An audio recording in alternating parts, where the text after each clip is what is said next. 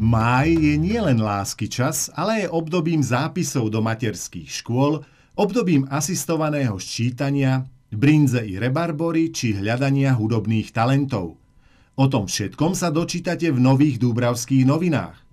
Porozprávali sme sa tiež s Antonom Tkáčom, ktorý objavil Petra Sagana, či s verolekárom nielen o psích bojoch.